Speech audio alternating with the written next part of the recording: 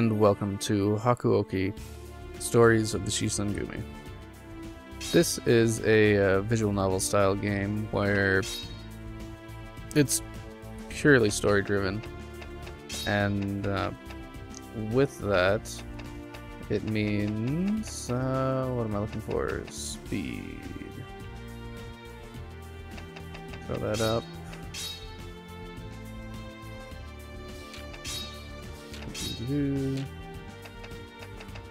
Wasn't there...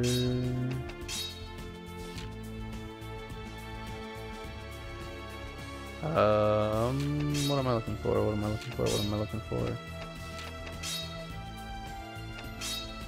Ah, there we go. Auto play speed up.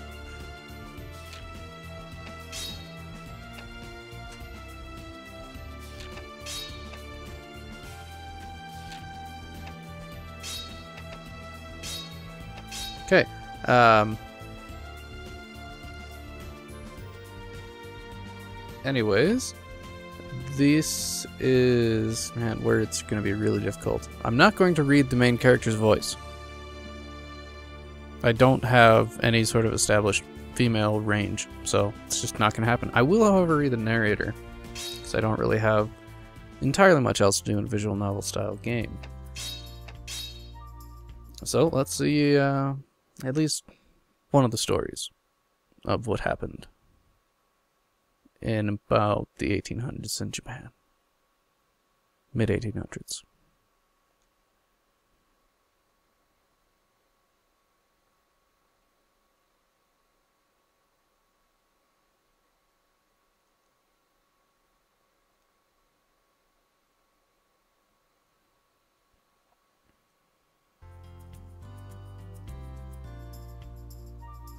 Was awfully impressive, there was no denying it. Even the simplest hellos between people passing in the street seemed warm and friendly.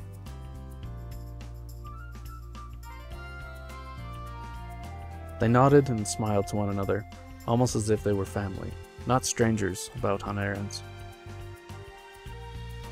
Still, there was something else as well, something that made the city feel strangely cold, almost as though there was a great invisible wall shutting out anyone who wandered in from the country.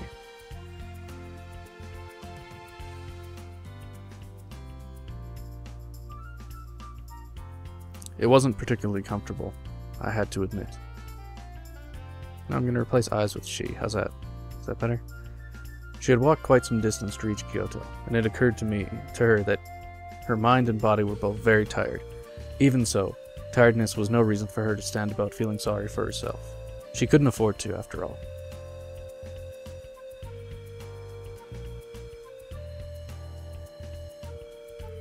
With new, albeit forced, resolve, she tried to stop a passerby.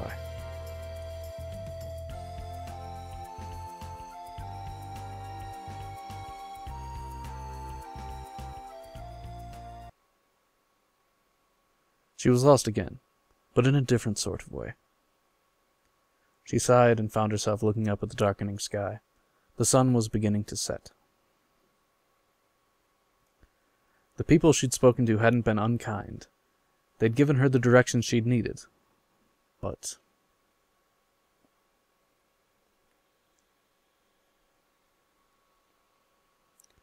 Apart from her father, there was only one other person in the city who she could rely on Dr. Matsumoto. Dr. Matsumoto was a doctor in service to the shogunate. She had never met her, him herself, but her father had put a great deal of trust in the man. He had told her that if she should run into any trouble during his absence, she was to contact Dr. Matsumoto. Unfortunately, Dr. Matsumoto was apparently out of town on business and would not return for some time.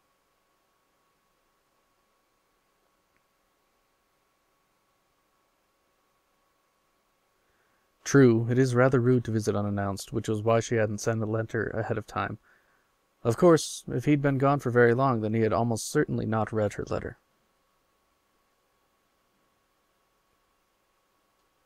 Perhaps, she thought, she should have waited for a reply before traveling alone to a city she'd never even seen. No, She knew she could not have waited any longer.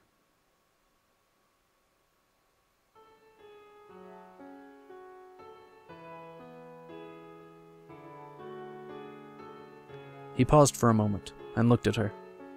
実はなしばらくの間京の都へ行くことになった He had been leaving the house often then, sometimes for days at a time. それはわからん一月になるか二月になるか There was no hiding her disappointment. Nonetheless, she wasn't a child anymore, and couldn't beg him not to go or some other foolishness. Sure, she'd be lonely, but she was much more worried for him.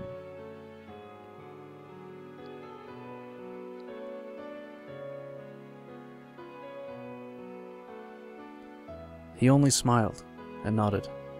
安心しなさいお前が心配しないように 今日にいる間はできる限り手紙を書くよ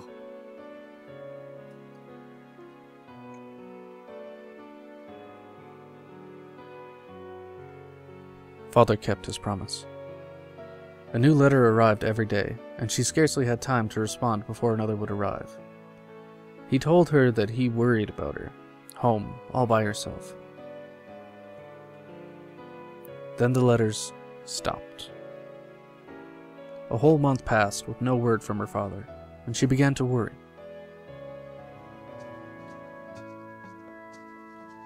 They said Kyoto is a place full of ronin. It is not a safe place.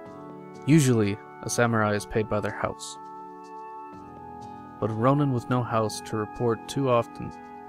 Ah, ronin with no house report too often rob people in order to make ends meet.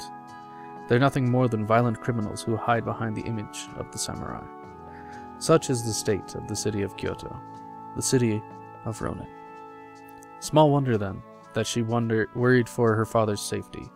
Her mind would concoct horrible possibilities, and she inevitably found herself depressed and tense.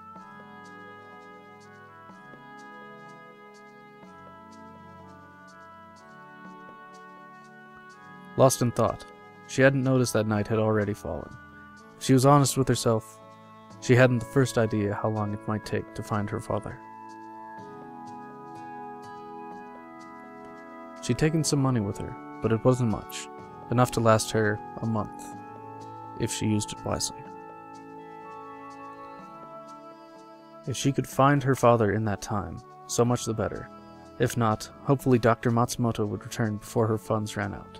Should she be able to find either of them, then it seemed she would be forced to return home.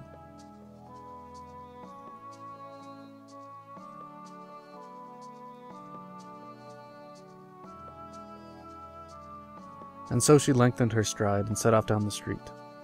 Fortunately, men's clothing was much more conductive to such a pace than her usual dress would have been. She decided early on that Kyoto was far too dangerous for a girl from the country to explore alone, and that it would be wise for her to dress like a man, or at least a boy. Her disguise, such as it was, had proven successful, and she'd made it all the way to Kyoto, unmolested. Perhaps that success had gone to her head and let her think a girl dressed as a boy could explore Kyoto as she pleased. But Kyoto is not a safe place. She should have remembered that. Instead, she had somehow convinced herself that whatever dangers in the city hid did not apply to her. Oi, she was about to discover otherwise. She spun around. In the street in front of her were three men, running. She did her best to keep her voice calm as she reached in what she felt was a nonchalant way for her Kodachi. Her father had made her take lessons in self defense. She'd kept with them and actually done rather well. Her skill was enough to defend against most attacks. Then again, Perhaps it was her confidence in her skill that had put her in this situation in the first place. She'd messed up and let her guard down. There was a chance she could take them on and win, but there were three of them, and one of her. ガキのくせにいいもん持ってんじゃねえか Only then did she realize they were far more interested in her sword than they were in her. 小僧には過ぎたもんだろよこせ国のために俺たちが使ってやる The sword wasn't just some blade she'd picked up. It had been passed down through her family for generations. There was no way she could have given it to the Ronin. Unfortunately, she had a feeling they wouldn't understand.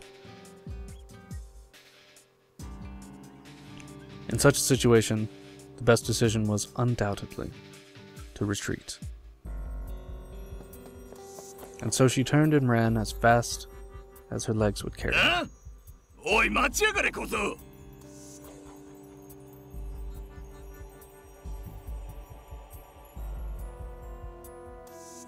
She felt like she'd been running for quite a while, but could still hear the Ronin behind her, cursing loudly. She ducked into an alley and flattened herself against the wall.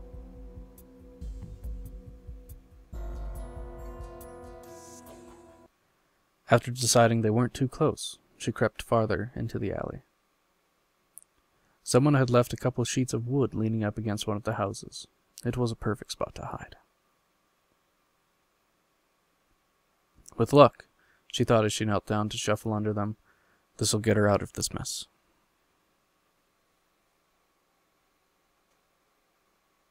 Something was wrong. She'd expected to hear the Ronin yelling to each other, looking for her. But seconds turned into minutes, and she heard nothing. She was about to sneak out and have a look, when they began to scream. Her plan was to um, her plan to investigate was immediately halted. Remaining silent and hidden was clearly more important. Still, ちくしょうやりやがったなくそなんで死なねえんだよダメだこいつら刀が効かねえ it was then that true fear began to set in. There was something out there, something very, very dangerous, something quite possibly lethal. The possibilities were, well, her imagination conjured up no shortage of gruesome theories. Even so, she could feel that itch of curiosity. she wanted to know what was out there. Slowly, carefully, she edged up to the corner and looked out. Cold moonlight glared back at her from the bare blade of a drawn sword. Her eyes followed the blade up to the arm that held it, clad in a coat of light blue. Had this person saved her? But no sooner had it appeared that hope was dashed.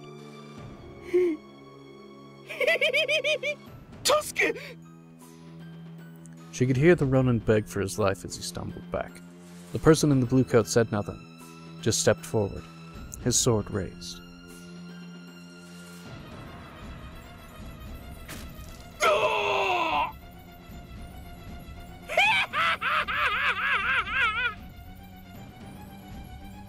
A high, screeching laugh cut through the man's scream.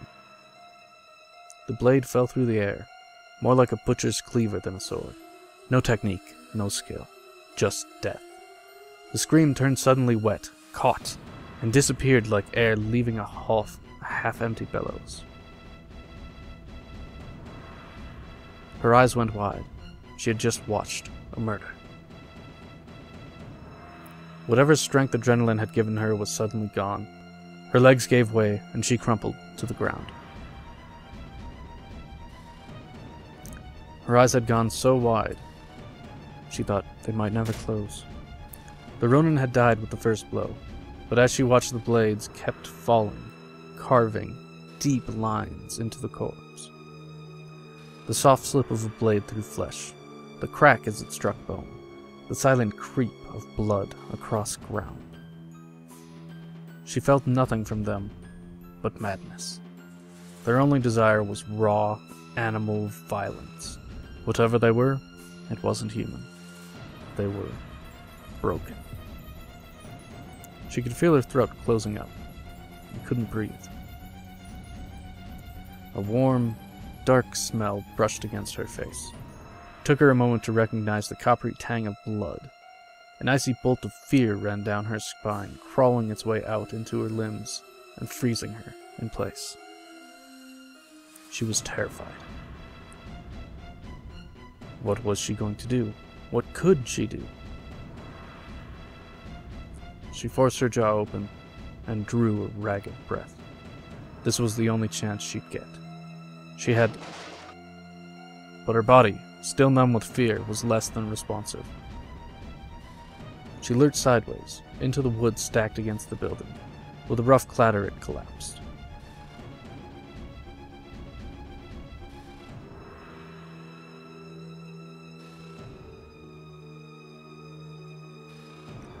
Creatures turned, their blue coats drenched in blood.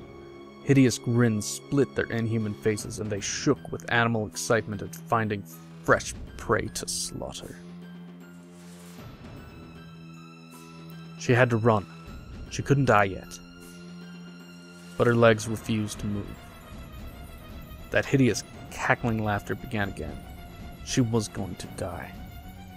Her body was frozen with terror, couldn't even scream. This was it. This was the end.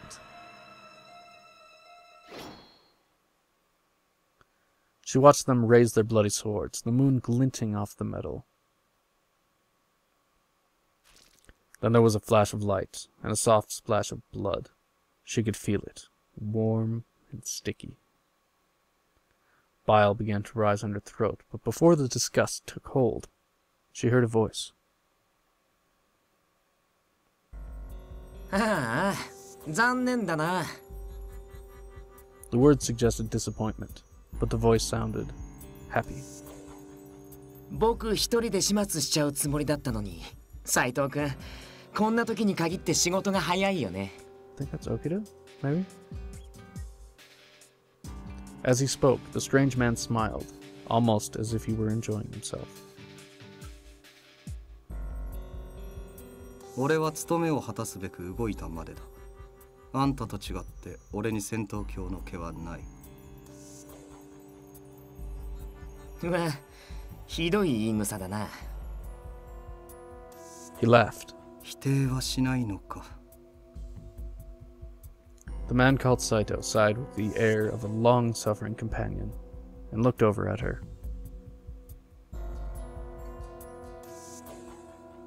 でもさあいつらがこの子を殺しちゃうまで黙って見てれば僕たちの手間も省けたのかな His tone was light, but his words confirmed her fears. She had left the frying pan, yes, but now was in the fire. さあな少なくともその判断は俺たちが下すべきものではない Then, there was someone in charge of these two? Their conversation seemed to suggest they were part of an organization of some sort. As she thought about it, she remembered hearing stories of a group of men with blue coats.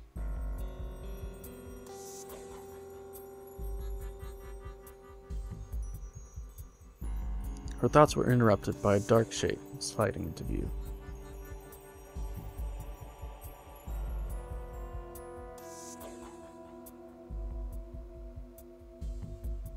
She swallowed hard. The moonlight shone off his smooth dark hair. For reasons she couldn't fathom, in that moment the light on his hair made her think of fluttery flower petals, almost as if the cherry trees were blooming out of season.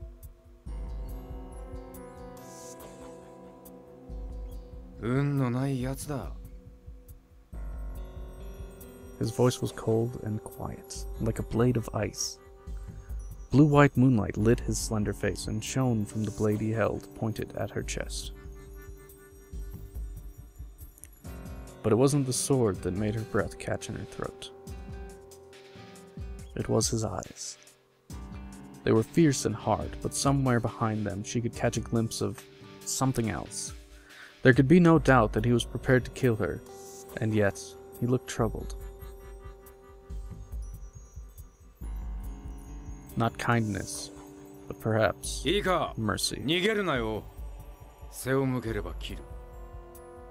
She nodded. There was no doubt he'd meant every word he said. He stared at her for a moment, then grimaced, and with a sigh, put his sword away.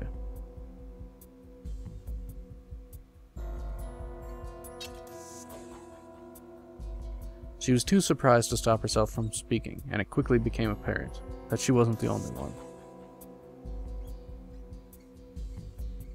あれいいんですか土方さんこの子さっきの見ちゃったんですよ As he spoke to the man he'd called Hijikata, his eyes narrowed.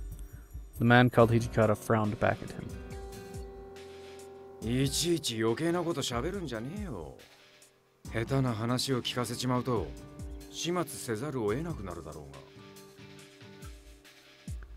She wasn't quite sure what they'd meant, but it was clear enough that what she'd seen was something they'd wanted to keep hidden. Still, the more they said, the more she understood, despite the fact that none of us wanted such a thing. この子を生かしておいても厄介なことにしかならないと思いますけどね The way he looked at her made her feel as if she'd read her mind. Perhaps it would be best if she didn't think too hard about things when she wasn't supposed to think about it. とにかく殺せばいいってもんじゃねえだろうこいつの処分は帰ってから決める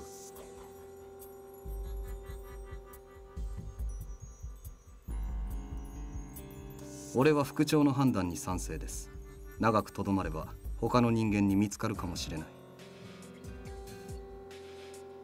The man they'd called Saito spoke with a quiet confidence. He glanced around, possibly looking for other witnesses, though he looked down at the creature he killed, almost as though he'd forgotten the whole ordeal.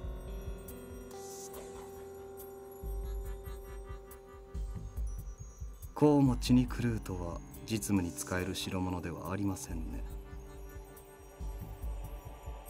Hmm.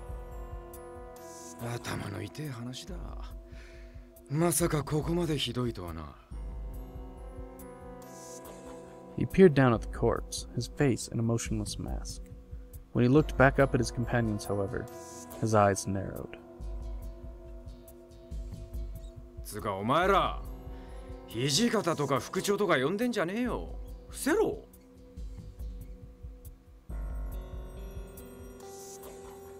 へえ伏せるも何も回復着てる時点でバレバレだと思いますけど He was right. Even she had heard stories about a gang of cruel men in blue coats who cut people down in the streets. But she did her best to be stern with herself, but it came out sounding more pleading than commanding. Her mind swirled with thoughts and worries. She was being drawn into their world.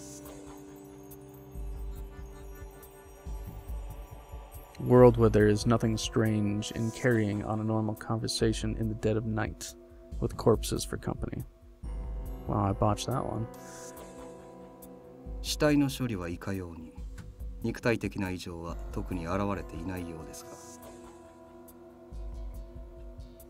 Hijikata thought for a moment before he spoke.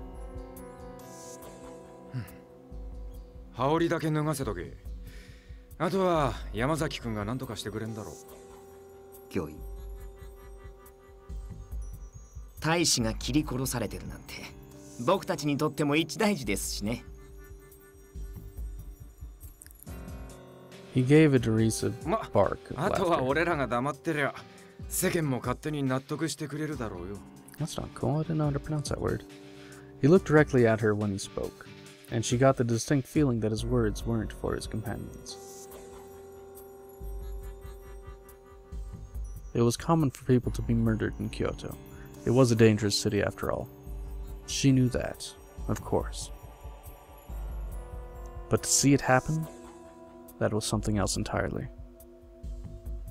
If death was, eh, if death was such an easy thing in Kyoto, she thought, then the city itself must surely be mad.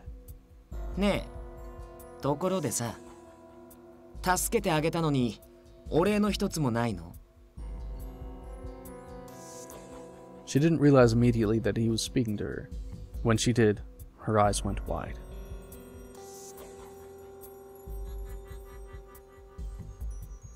Well, he did have a point. Despite their threats, they had saved her life. She stood up as steadily as she could manage, brushed some of the dirt off her clothes, and bowed.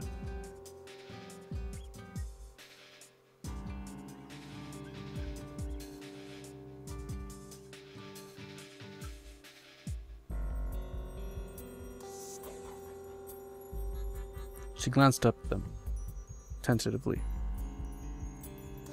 The man called Saito was showing some confusion of his own. His eyes were out, his eyes were wide, and he had an expression she couldn't place. Hijikata looked as though he'd taken a bite of something sour.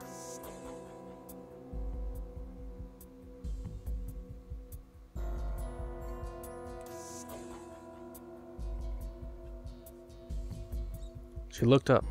Saito and Hijikata were both looking pointedly at anything but her, and the third man was shaking with laughter.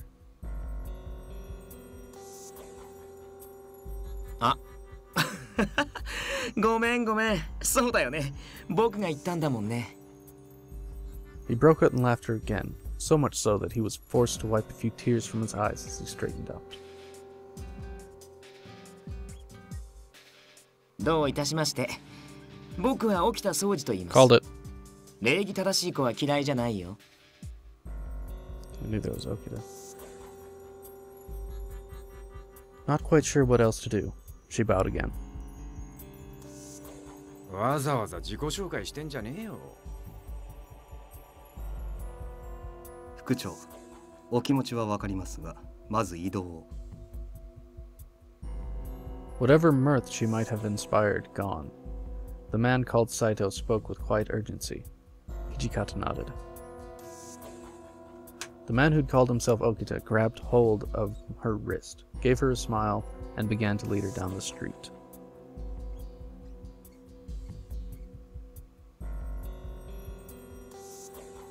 His grip was a touch too tight to be friendly, his fingers like iron cables around her arm. There was no question about her situation. If she ran, she would die. Quickly, at least.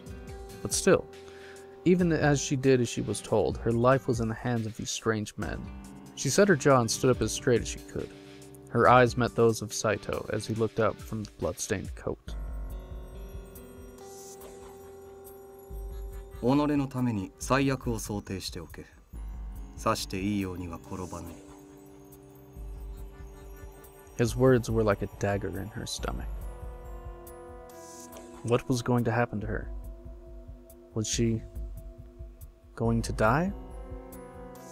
As we walked through the cold Kyoto night, she felt horror began to crawl its way up her spine once again. The cause of her horror wasn't the gruesome end that almost almost ugh, that almost certainly awaited her, but something else entirely. I use they instead of we now. She'd spoken with these men and watched them speak to one another, not feet from a still warm corpse soaked in blood. That she had done such a thing terrified her in an altogether different way. Perhaps she thought, this is what it's like to go mad. And we'll leave it at that for the first part. And see you for the next part in the continuation of this story of the Shinsengumi, of which I have meager knowledge. rather, rather meager. Alright, so until next time, bye bye.